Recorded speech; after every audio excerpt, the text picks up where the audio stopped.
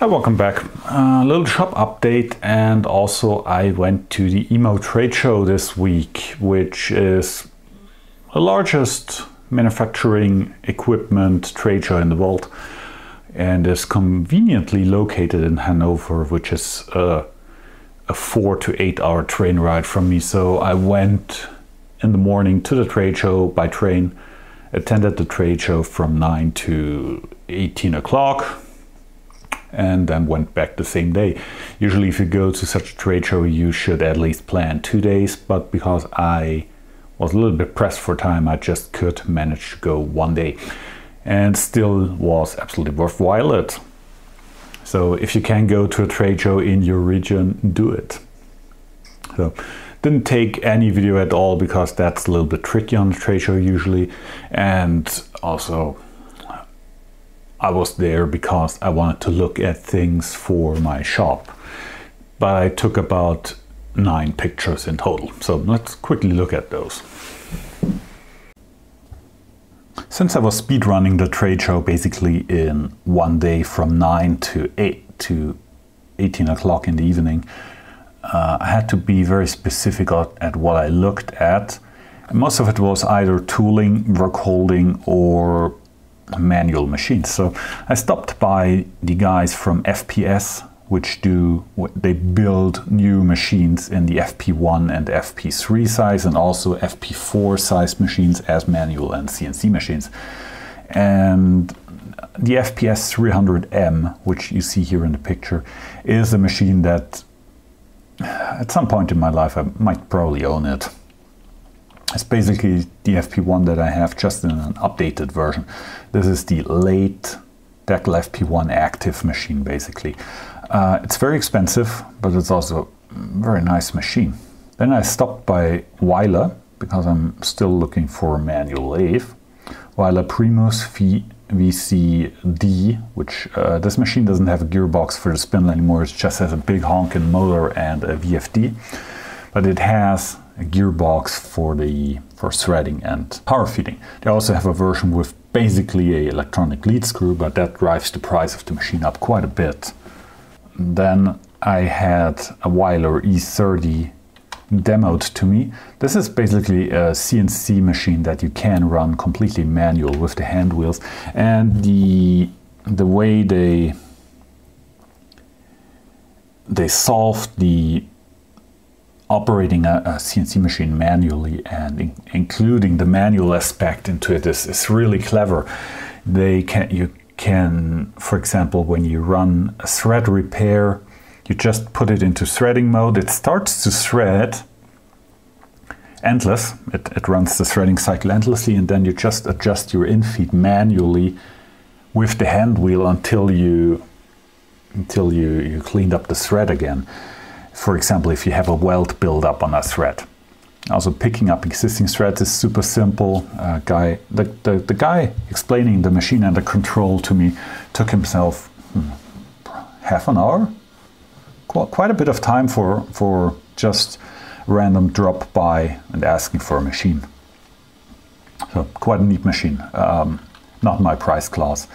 Uh, ran by Schaublin, uh, Schaublin 102N VM, which is basically the last manual toolroom lathe that they built with power feed.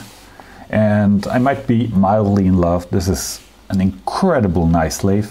Mm, a friend of mine has one.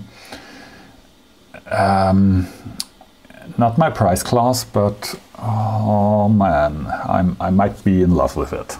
It's it's smaller than my MCO, but weighs about the same or a little bit more with the cast under carriage here on the on the frame.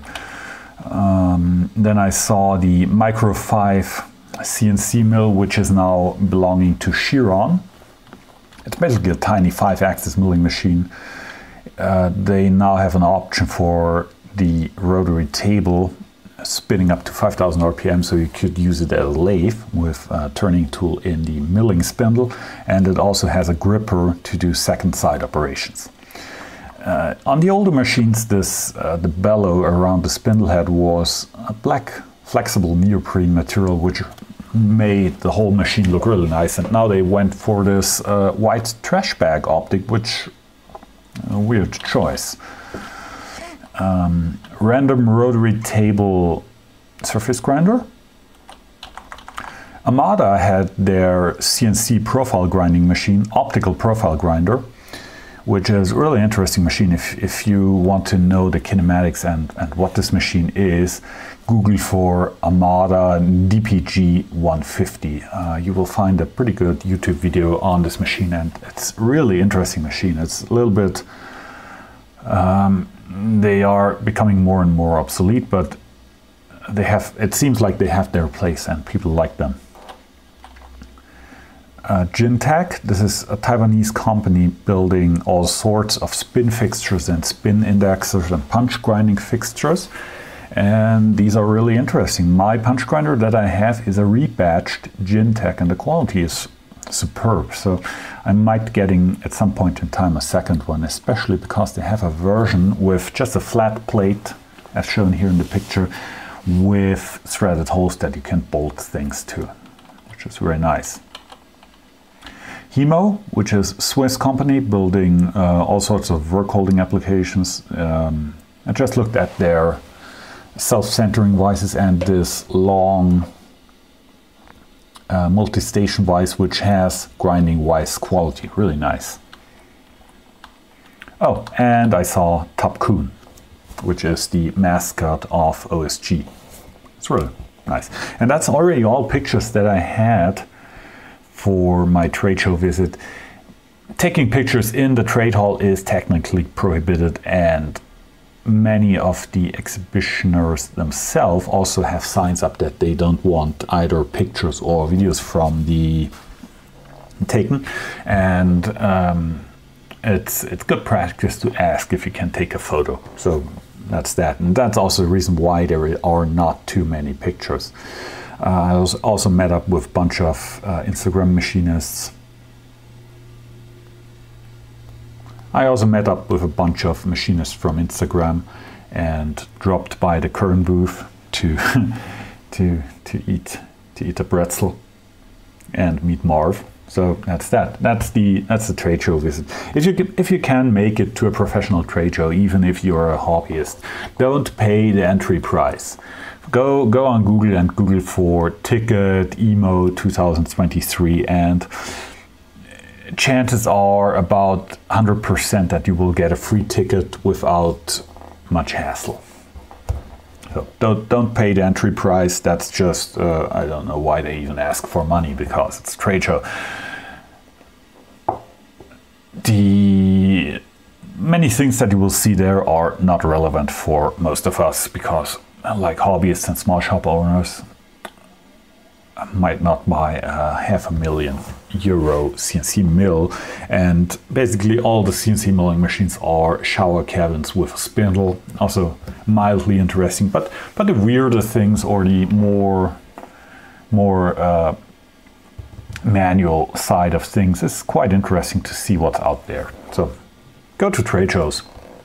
Go in the, into the public petri dish that's called a trade show.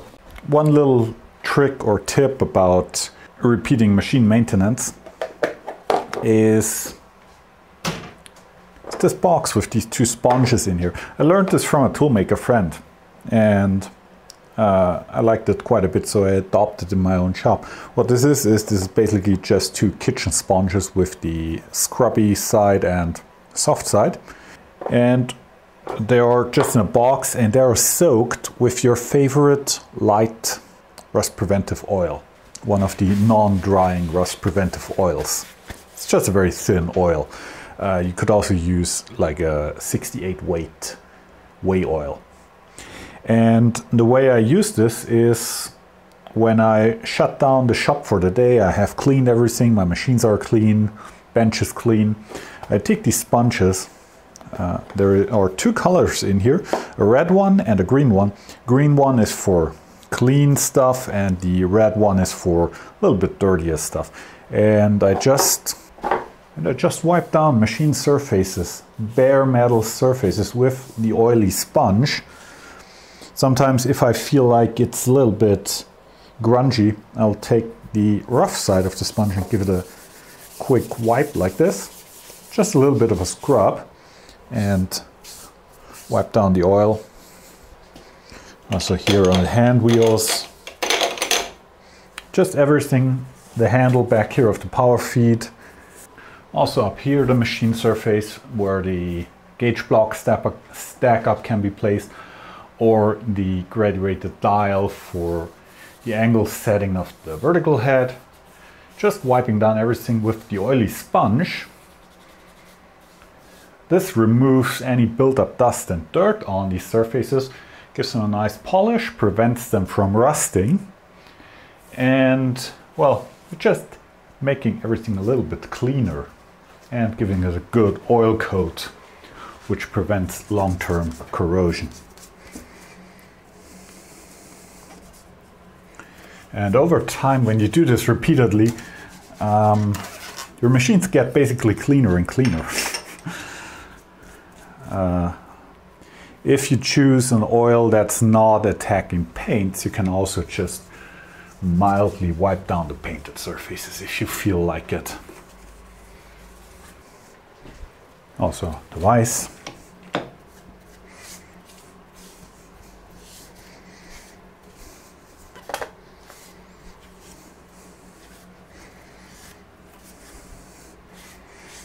And I would do the same on the lathe, wiping down the tool post, the solid tool post, the cross slide top, uh, the outside of the chuck, the face of the chuck, things like that.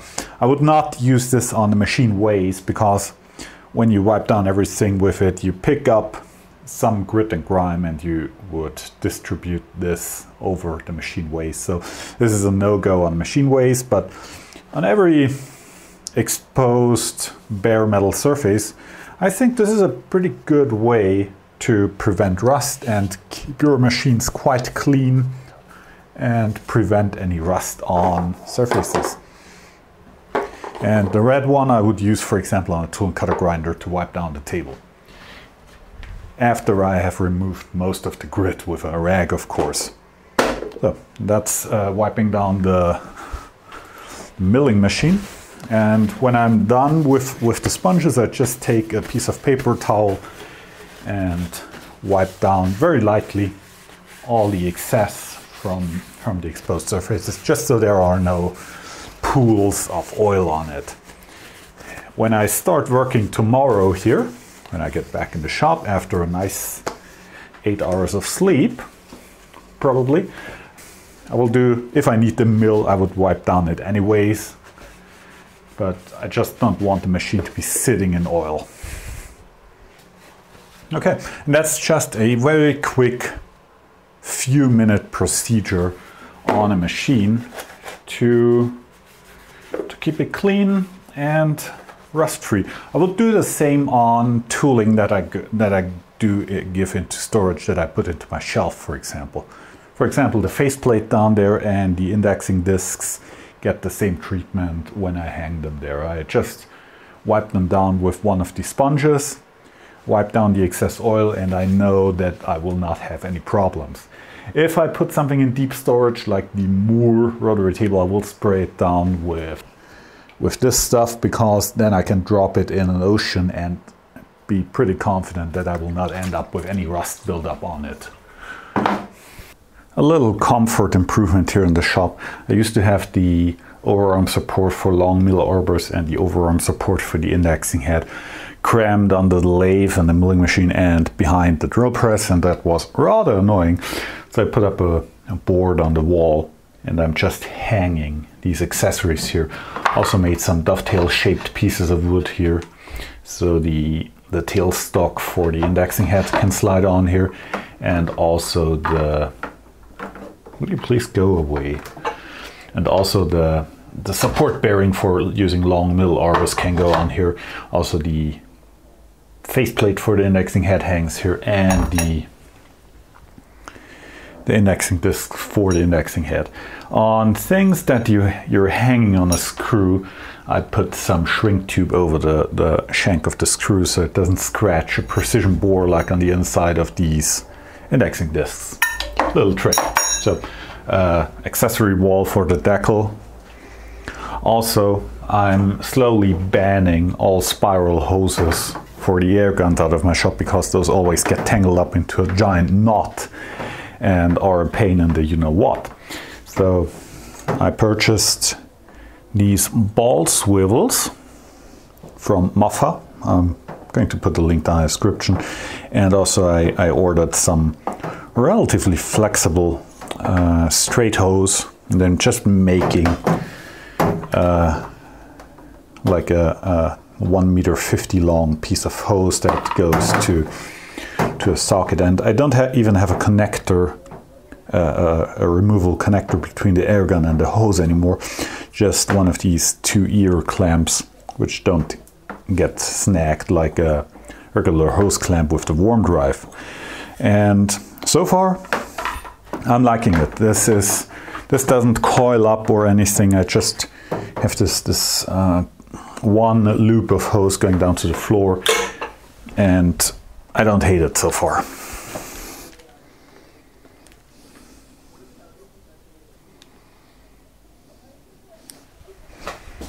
Looks like this when used, just whoop whoop. And I have some reach over there too, so uh, good enough. I have the same on the lathe now, and I'm slowly replacing all of my spiral uh, hoses like that. So I horse traded with a friend and got this vacuum pump, which I want to use for vacuum work holding. Usually I'm using this when I use my vacuum chuck. Uh, compressed air goes in here, noise comes out here, and a little bit of vacuum comes out here, or, well, goes in here. uh, this is a Venturi valve. These are a very cost-efficient way to get some vacuum, but also highly inefficient and very loud and uh, general very annoying. And this one, and also they are, they take, well, compressed air and compressed air is the most expensive form of energy in a shop. And my compressor, when it runs, takes two and a half kilowatts, I think. So two and a half kilowatt per hour. That's quite significant. I'm running off um, solar power during the day, but still doesn't doesn't feel right. So got this this vacuum pump here, which only takes 250 watts, 0.25 kilowatts, running continuously. And these are made to run continuously compared to my compressor, which gets extremely hot if I run it continuously because it's not made for it. Currently, I'm setting it up to be usable. Here is a this is a air filter from automotive or truck things uh, goes on here for for the exhausted air because this is oil lubricated system and you don't want the air that comes with the that comes out here to go in the environment unfiltered because there is some oil mist in it and this filter should catch it. Also under this piece of masking tape, this is the intake for the, so this is the vacuum side. Um, still figuring out which way I want to connect to my vacuum chucks but probably I'm going over a KF flange and then to a 6 or 8 millimeter hose because all my vacuum fixtures use a 6 millimeter hose. Both my flat vacuum fixture for plate work and this custom made vacuum fixture that goes on my Erowa chuck for one specific customer part. Uh, those just take 6 millimeter hose. That's that. Uh, I already have the KF connector for this for this flange here. Just need to do a little bit of machining, but I guess I will put this in the next CNC machine video when I put all of this together. Most people probably know this already, but for the two people that have never seen it, let's let's talk about um, nuts, riveting nuts. These are very similar to pop rivets. You use an arbor, you pull on it, then the material here buckles up and rivets this nut in place. These are mostly used to create a a machine thread in a piece of sheet metal and give you some thread engagement compared to trying to thread into the sheet metal. There are also other options like weld-in nuts or uh, flow drilling and then form tapping, but these are very low effort and low entry cost solution for getting a thread. Problem is you need a a tool to seat them to to rivet them in place, like a um, a manual rivet nut setter or pneumatic one, or I think they make attachments for for a cordless drill now they, that do the same. But being the cheapskate that I am, I'm not buying one of the plier style ones because those top out at around an M5 riv nut, especially if these are uh, if they are steel like these ones. M6 often is already a bear to to rivet in place.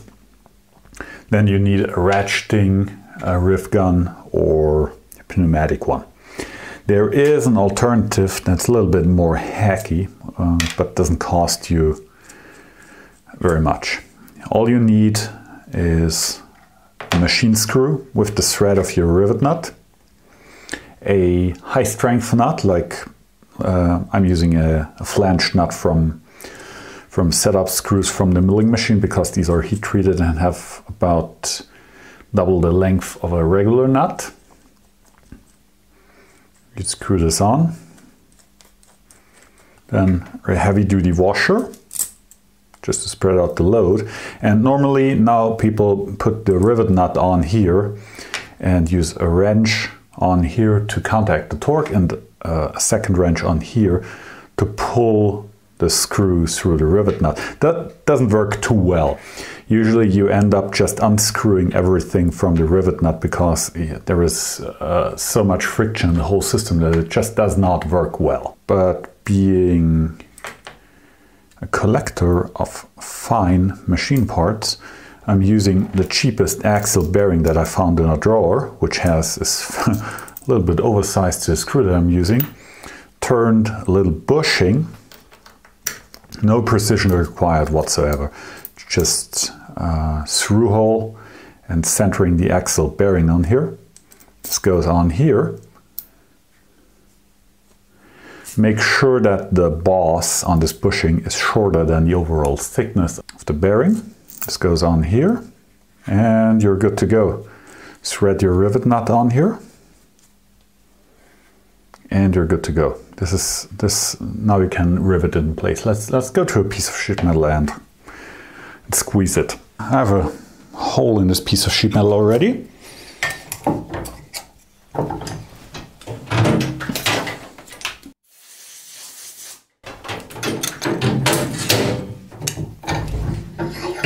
So this whole assembly with the axle bearing goes in here. Oh, be nice if it fit. So you put this in place, you, you finger tighten the nut against the rivet nut back here, get your ratcheting wrench or whatever you want to use to turn the nut in here. The Allen key here provides the counter torque and then you just start to crank away and as you can see the axle bearing stops any of the torque of the of the nut going into the rivet nut. We're just you putting axial force into the rivet nut.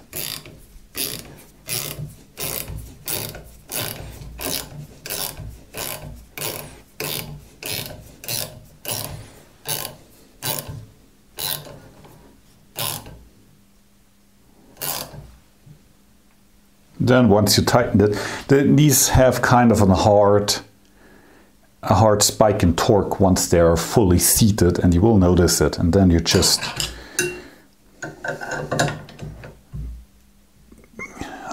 untension the nut back here,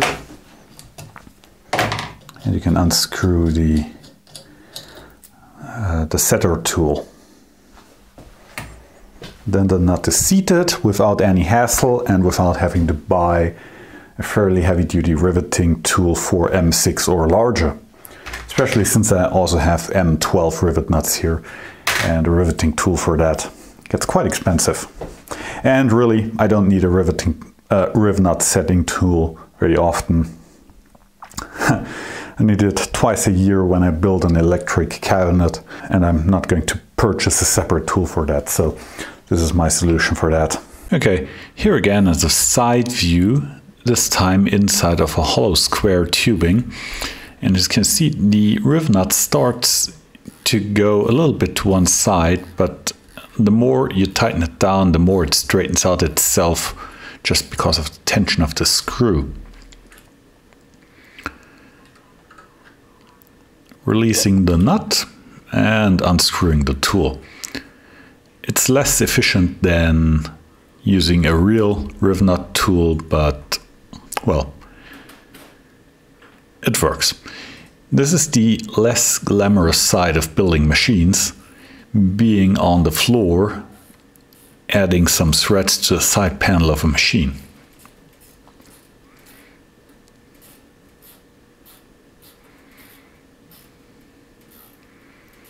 And basically, this is half of the time when you build special machines as a day job.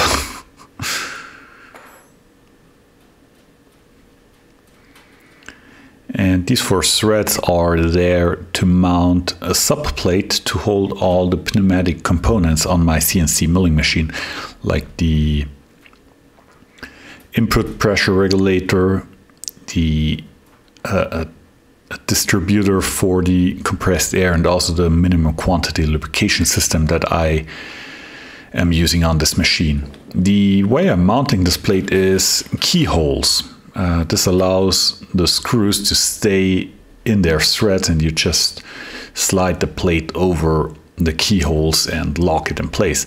This is a very nice little feature when you mount stuff. It's a little bit more effort to machine, but a little bit less painful when you mount it. And you can just put all the screws in and hang the plate over it. So little little tip there.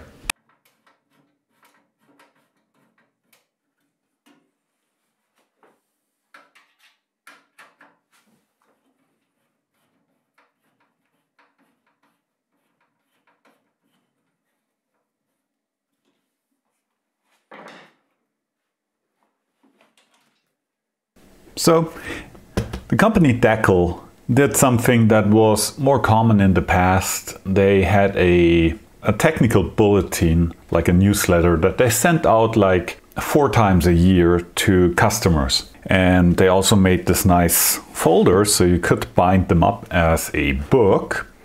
And these technical bulletins, uh, there is an English version of these. At least some of them exist in English version, but this is all German. Uh, these are a source of interesting ideas and hints and modifications to machines. It's basically uh, printed out internet, but from the days before internet. This it, it started in 1955, and I think the last one were around 1970. Let's look.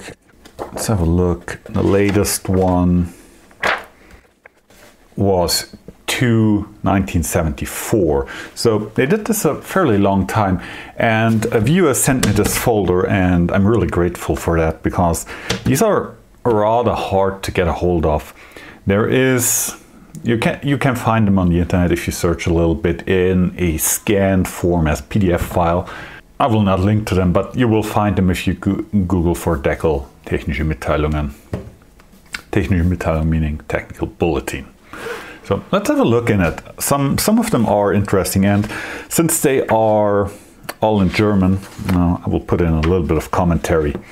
I'm not going into everything because some of it is extremely esoteric, like this application here. This is broaching an internal spiral into a workpiece to mold uh, parts like this. So things like that would be posted in these bulletins, either by Deckel employees developed techniques. They also showed new machines in these bulletins and readers and customers of Deckel could also send in ideas to be published in here. So it's really like a, bulletin board on the internet. Uh, tool grinding was a big deal, or uh, generating cams on the Deckel S1 tool cutter grinder using the duplicator or engraver mills was always a big deal. This is interesting. This was a, a chapter about single flute cutters or D-bits to be either used on a manual milling machine or on a copy milling machine. So they, they go into the material. Most of them were high speed steel back in the day, but also already carbide. And here they state that carbide should be used in high strength steel, cast steel, uh, cast iron, and also heat treated steels for um, for basically hard milling.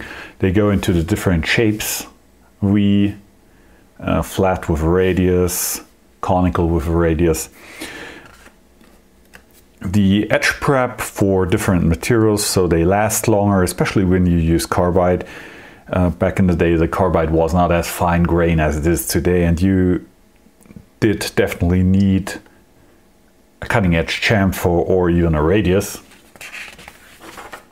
So things like that would be in these bulletins. Some of it is very specific to machines, so I'm basically going over it a little bit quicker because it's uh, not of general interest, I guess. So yeah, this this this is very common in these bulletins. Um, here, for example, Deckel started to sell a different spindle for my tool and cutter grinder, which could go to 15,000 RPM, doubling the speed, and they would give just a rundown of how to change what to change on the machine, switch out the spindle and the pulley, and they even gave you a new a new sign for the speeds that the machine would would reach with that spindle. Some work examples for the copy milling machine, for the KF series machine that could use the model milling or, or geometric generation feature to mill patterns like this or shapes like this without a model.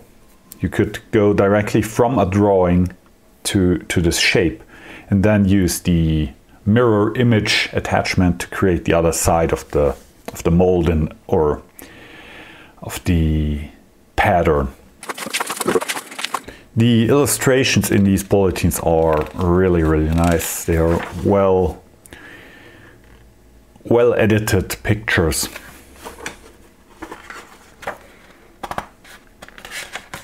At some point they changed the indexing head on the Deckel FP1 and 2 milling machine, added the, the, the 24 position direct indexing discs, got an update to be adjustable.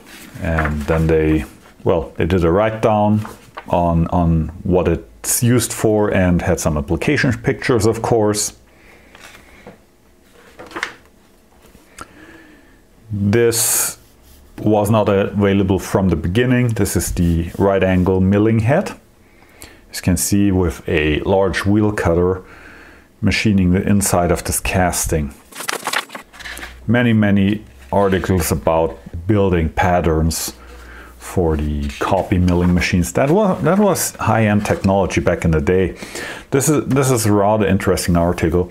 This goes into detail how to machine a a pocket with, uh, well, a square pocket with conical sides and sharp internal corners like this on the FP1 milling machine.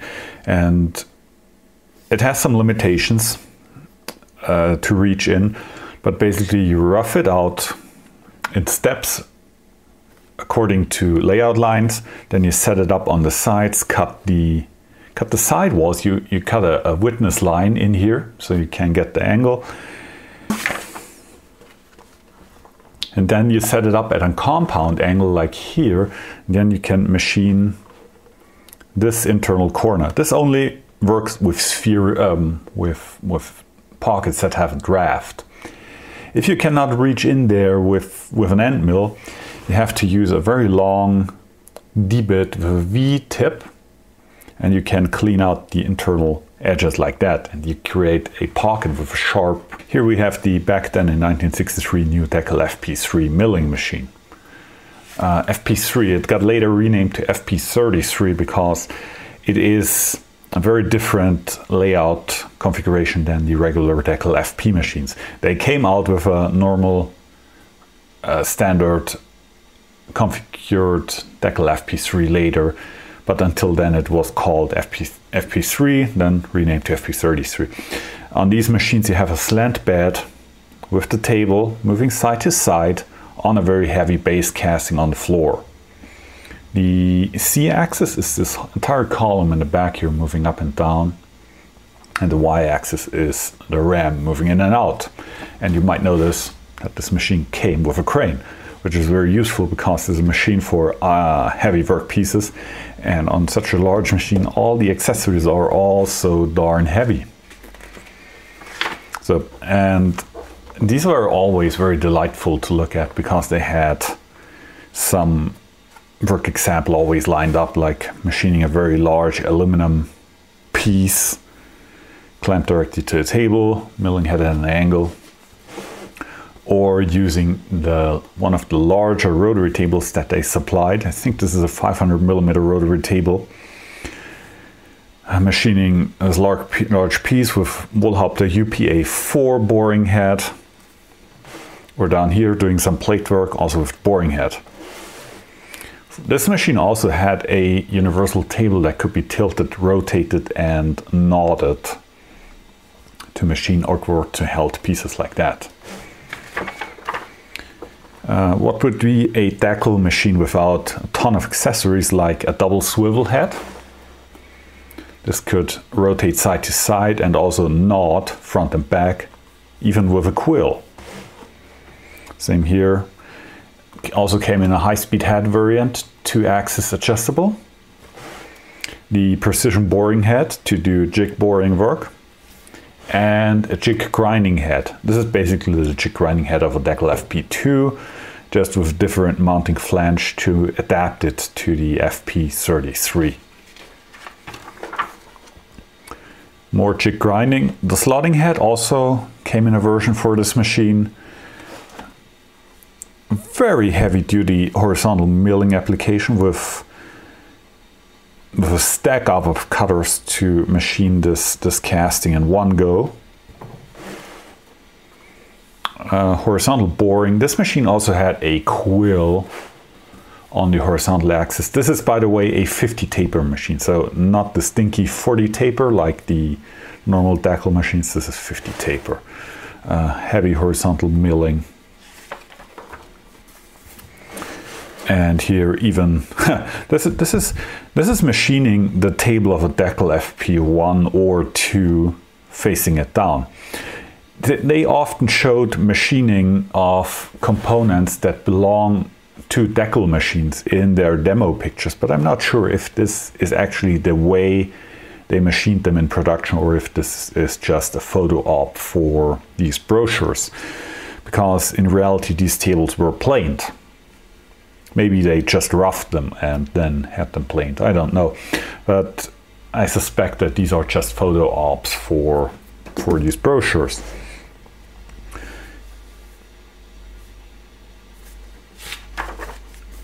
So then Blazing High Tech in 1964, indexable face mill. They also gave you an idea about the cutting diameter and which one to use on which machine. The 75mm face mill is the only one suitable for my mill and smaller of course. And the 152mm face mill only was allowed on the FP3 machine or larger. So, and we have an entire chapter about jig grinding on either the dedicated jig borer jig grinder or on the tool room mills here shown on an FP2LB, which is the long bed variant. So this is the Deckel FP2LB long bed variant, and as you can see when you want to use different attachments in front here, you just rot rotate the mill head 90 degrees and push it back on the ram to make room in front here for the accessory like the jig grinding head or the uh, slotting head, for example. Uh, that was always very useful on the larger machines. Yeah, tons of examples. At some point they came out with a, uh, with a servo hydraulic system for the copy milling machines for the tracer mills. And here they are demonstrating it, roughing out the steel mold from a pattern. And judging by the size of this guy and the mill, these, these KF machines are not small. If you see one in real, they are really beefy machines. And the workpieces they put on them are quite impressive. Well, this is the long bed variant of the of the KF machine, a KF LB machine, where the, the table is stationary, so you could place extremely heavy plates and, and molds on it, as shown here too. Very, very large scale mold. This, uh, let's see, this is a this is a mold out of steel, 3.7 liters of steel removed. Uh, 6.8 hours time of roughing with high-speed steel end mill and index carbide end mill. Pre-finishing with a D-bit, 12 hours, and fin final finishing with a D-bit, 24 hours. So that, that was quite the workout. Uh, this, this, is, this is, for example, one of the uh, releases where they showed ideas from customers. This, for example, this is a small air motor running with belt, a small spindle, and this is mounted to the circle uh, divider attachment for the mill. So you could use this to mill any desired radius by just adjusting the diameter and then you had your small milling machine going on an arc. And this was sent in by Manfred Bayer and Günter Klaus Uh, out of Göppingen. More copy mill. This is interesting. Here they are thread milling using the Deckel KF machine. As you can see, this is basically the same process as on a modern CNC mill doing thread milling, going in a spiral path with a tool shaped like the, the thread pitch or the thread profile. And they also show how to grind a matching D-bit for this operation. Pictures from a trade show with a Deckel FP2LB, it seems, machining what looks like the base casting of Deckel S1 tool and cutter grinder. This is definitely the casting of my tool and cutter grinder. Um, this is sad, this doesn't exist anymore. This is a 8mm short film about the application on boring and grinding with the Deckel LK machines. This was a 20 minute movie on, sorry, 16 millimeter film about the application of this machine, but it doesn't seem to be to exist anymore. I looked around, I asked people, and nobody ever has heard or seen it. It appears. The cutaway poster of the Deckel FP1, there are a bunch of them around, but hard to get.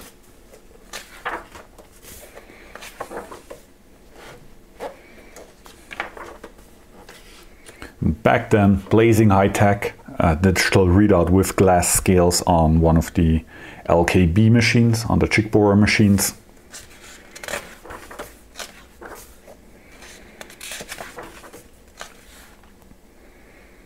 And they also just gave general tips and tricks using the microscope to align work, using indicators to align your work,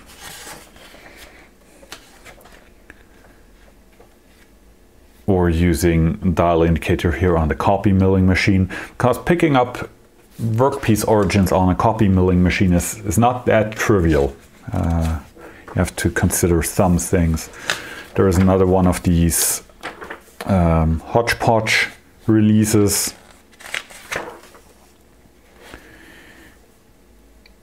Using the Deckel S1 grinder to grind back relieved form cutters.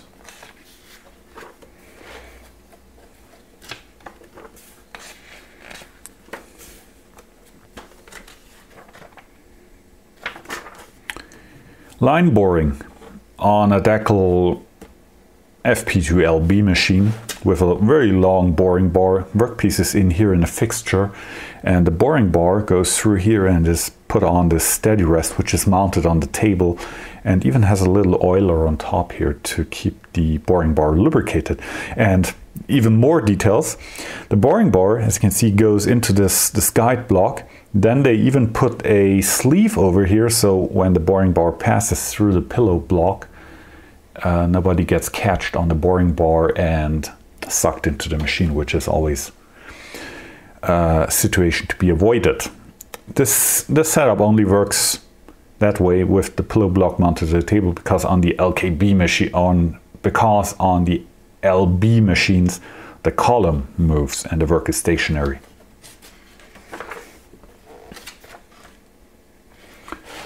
This, this was an interesting idea. They put an indexing disk on the x-axis of the mill to to be able to move the table and define increment. If you had to drill a hole every 17 millimeters you could make a custom indexing disk for that and put that on the x-axis and do your linear increments that way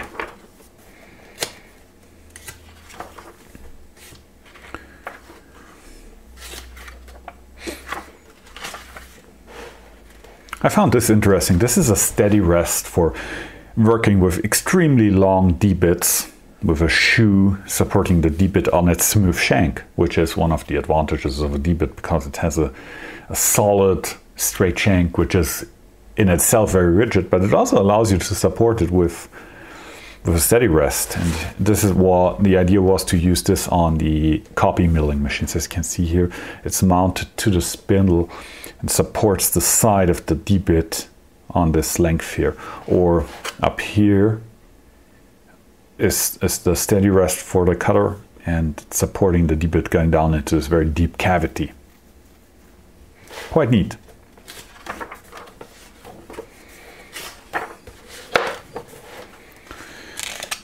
And here they fixed the lineup FP1, 2, 3, which the 3 is already in by 1970 it's the normal layout and the FP33 with its weird slant bed configuration has been renamed and moved into a different category. FP3L, which is a, the lighter version of this, and then they added FP4. I think they have a picture here, yes. FP4 is quite the massive manual milling machine. They also later did an FP4M which was a very well liked machine. These are quite, quite heavy duty machines.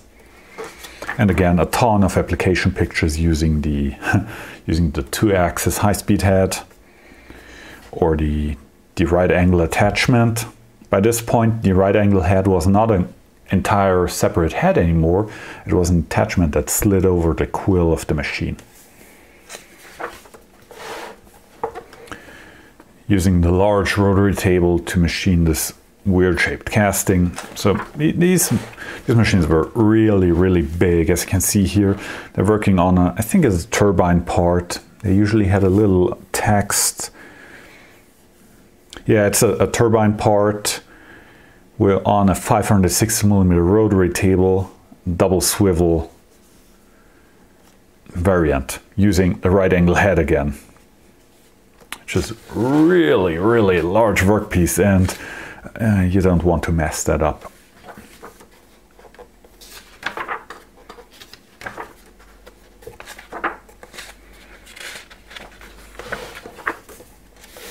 This is, I always like this picture. This is a Deckel FP3L with the stationary table and a workpiece with a diameter of 58 inches. This was sent in from a company in the UK, I think. Uh, and they have this huge aluminium ring with all these bores, and it, they are using a slitting saw to slit all these bores, as shown by this drawing here. There's a, a thread and a, a hole to clamp these, these holes. Uh, what's interesting how it is held, there are three rollers in here bolted against an angle plate and then they just have these two strap clamps holding the part once it is indexed, and they have some kind of an indexing pin mounted to a small adjustable angle table here, indexing in those holes. So that's quite the that's quite the involved setup here. But what I find interesting is really the three roller support here to to create uh, a bearing situation where you can spin the work on. Deckel G1L, uh, lovely machine. Using the Deckel FP1 as a ball turner, using um, the boring head in the indexing head, which allows you to spin it like on a ball turner. And you put the workpiece in the machine spindle, and then you can do ball turning.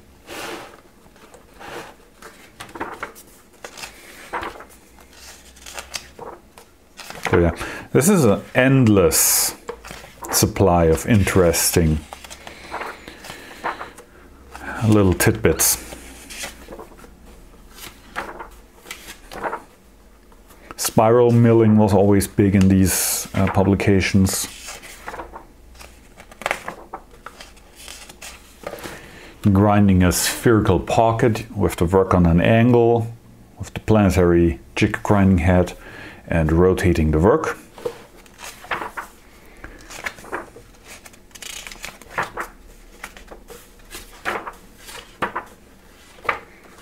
This is a chapter about slotting because they also made a slotting head for the machine. And again, with practical examples with the slotting head, slotting head in an angle, you're working in a casting. Also doing extremely fine slotting work on something like an EDM electrode. That was back then uh, an example that they choose very often.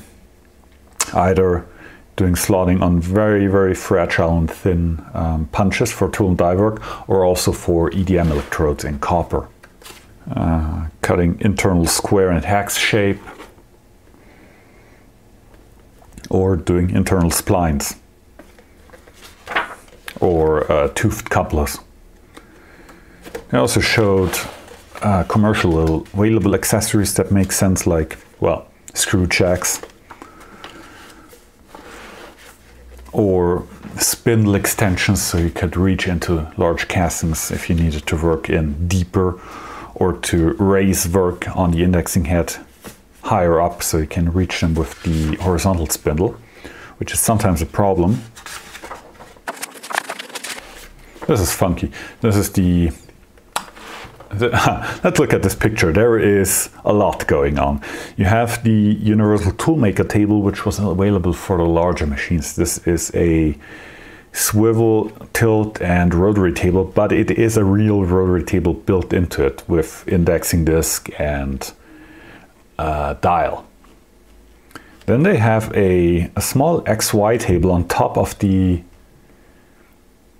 of the of the rotary table to move the work around and realign the center of rotation of the workpiece. This was later replaced by the punch milling attachment that I have. So this was the makeshift version of that. Then they have the slotting head on the machine with a tiny slotting tool on here, probably to work on this tiny punch on here.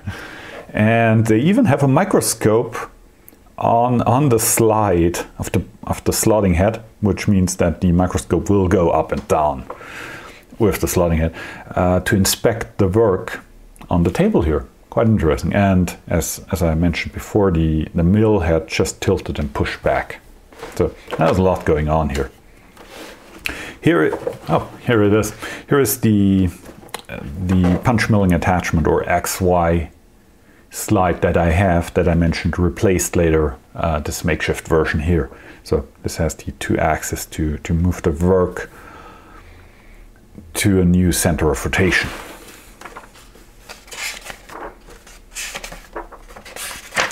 I'm just browsing through here, and when I see something interesting, I'm stopping. Um, here is here is a chapter about boring, using boring heads in different variants, like uh, UPA 4 on the FP33 machine. Guy looks very confident. I would look that confident if I ran this machine too. Um, using the small UPA 1 boring head and the right angle head to machine uh, a channel with a radius going this direction or this direction. A precision boring head on a Deckel FP1 with the riser block. This riser block is a little bit tricky to get.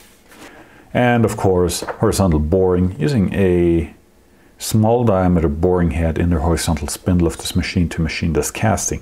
They probably did one side and then rotate the table 180 degrees to the other side. They show different hole inspection tools like uh, Trimike and a dial bore gauge, but also tooling to measure and check the tool bit on line boring bars that don't have a micrometer adjustment. So uh, these are shop made by, by the looks of it, but it, as if you were a machine inspector and you saw this and uh, then you thought, oh, I can make that myself. So, uh, and here again the ball turning, ball turning um, ideas that they had. Could, could also be done with the with vertical spindle and then you could even do a ball shape with a tapered transition to a shank with the head tilted. Note that they are using the indexing head here on the table and it's hanging off the back of the table quite a bit.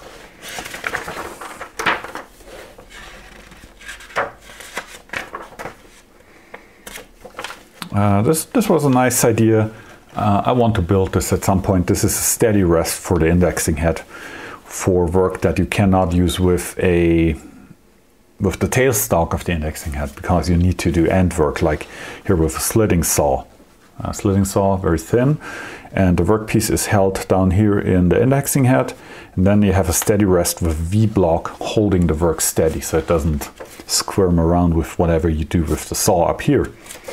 Or uh, supporting the back of this very thin punch up here while using a D-bit to do something on it. So, um, and that's a case where they provided a full set of drawings and some ideas how to build it.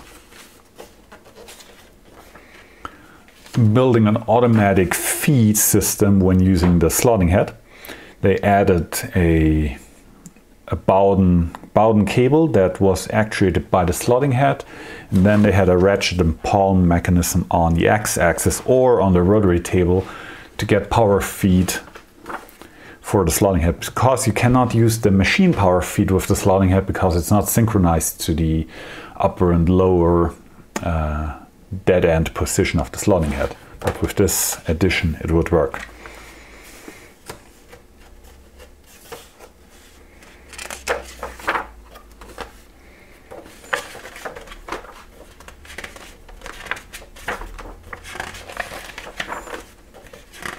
Oh, and here they even had a plan for a small direct indexing head. Complete set of drawings to go either on the table of the milling machine directly, on the apron, or on the end of the of the of the stock indexing head, so you didn't have to change a lot around when you just wanted to do a cross hole. Oh, yeah, that's it. That, that's the Deckel technical bulletins. Oh, and also, so uh, the the silver play button came in. It interestingly enough, you have to you you get a, a request code for it once the channel reaches hundred thousand subscribers, and then you can order the button your exclusive button because they make about half a million of these a year or something like that and gets gets thrown into your carport once it is done. Um, well I hook I, I, hang it up because well it's uh, it's kind of a milestone. So thank you all for watching. Hope you enjoyed this rather short episode. Thanks for the support and I'll be back